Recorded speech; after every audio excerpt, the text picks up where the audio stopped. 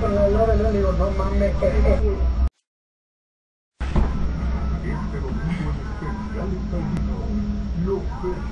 es.